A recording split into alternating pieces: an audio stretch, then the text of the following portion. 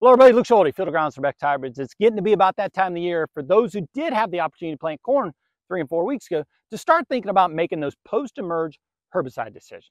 Now for those of you who just planted recently or, or you haven't even planted yet, just table this information for later use. But for those of you that did get a chance to plant three and four weeks ago, corn's starting to reach that V3, like the corn behind me, or even four-leaf V4 growth stage. It's time to make those decisions and thinking about getting those corn acres cleaned up, whether they be escapes or in a two-pass acre.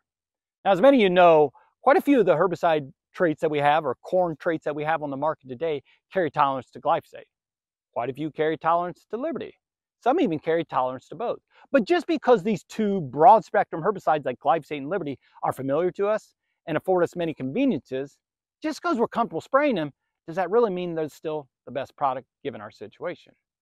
When we look at glyphosate, we've all seen over the years the continual use of it has really diminished its effectiveness on a lot of our broadleaf weeds out there. It's still a very good grass killer and it's still highly effective on some broadleafs like velvetleaf.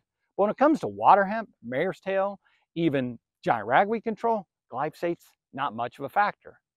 On the contrary, Liberty's highly effective on a lot of the weeds that, that glyphosate's not very effective on, like giant ragweed, mare's tail, water hemp, etc. However, just because Liberty would be convenient because we could overlap into those Enlist acres.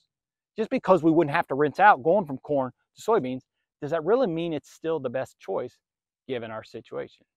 So a couple things to consider, especially if you'd prefer to use glufosinate or Liberty in your post-emerge corn situation. Number one, is all your corn, in fact, tolerant to Liberty? As you can see from the chart in front of you, many of the herbicide traits do carry tolerance to Liberty, but there's quite a few like V2P products that we use quite a few of, like 5794 V2P, 6374 V2P, that don't carry tolerance to Liberty.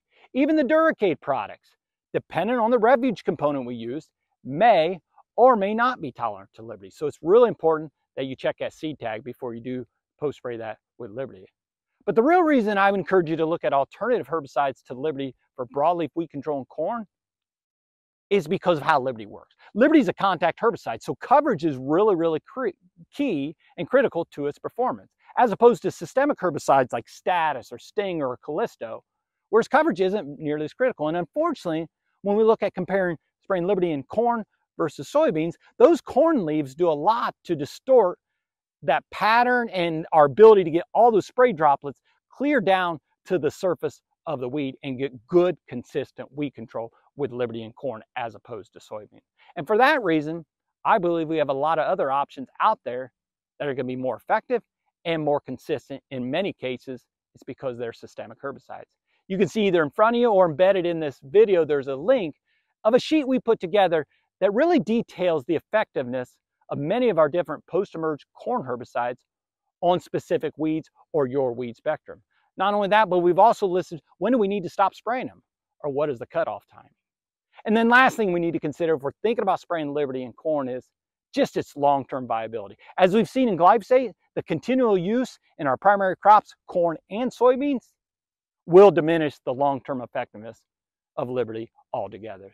So just some things to consider as you're starting to make those post-emerge decisions to not only get good weed control this season, but also to preserve herbicide efficacy in the future.